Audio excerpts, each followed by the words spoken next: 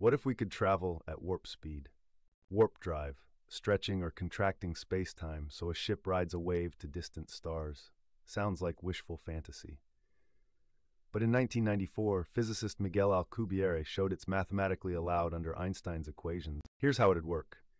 Build a bubble of distorted space-time.